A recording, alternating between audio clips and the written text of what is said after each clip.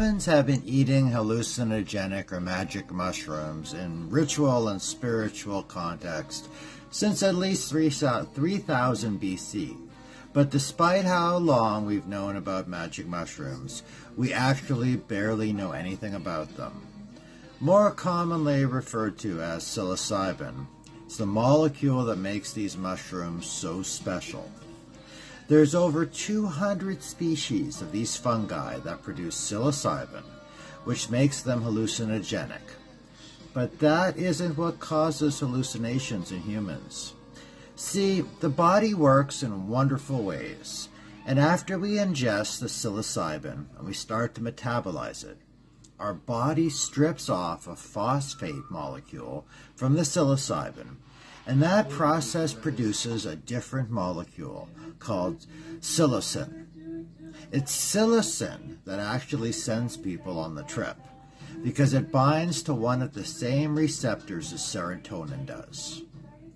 Serotonin is the molecule involved in things from sleep and blood pressure to mood regulation and depression. The receptor is referred to as 2-HT2A, and this receptor is also targeted by other psychedelic drugs like LSD, MDMA, and mescaline. Scientists still don't know how or if molecules binding to the 5-HT2A receptor results in hallucina- hallucinations, but they think it's related to how parts of the brain communicate with each other. The way they think psilocybin is doing this is by strengthening the connections between brain networks, even for areas that were not strongly connected before taking psilocybin. In mice, for example, psilocybin may actually be creating entirely new connections. In people, psilocybin increases the strength of the connections responsible for the way you sense the world, while also decreasing the connections responsible for how we understand, understand signals from our environment.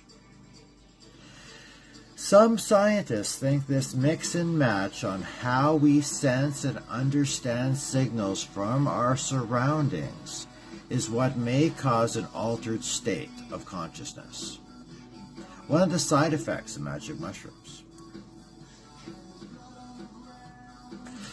Right now, this research is about connectivity, and it's still fuzzy and sometimes conflicting, in large part because research into the effects of psilocybin is so new. Policy changes in the last 20 year to 15 years have allowed for researchers to start studying not just the basic effects of psilocybin, but some of the possible therapeutic benefits. These studies often include giving one or two moderate high doses of psilocybin in the presence of at least one trained psychiatrist or trained healthcare professional.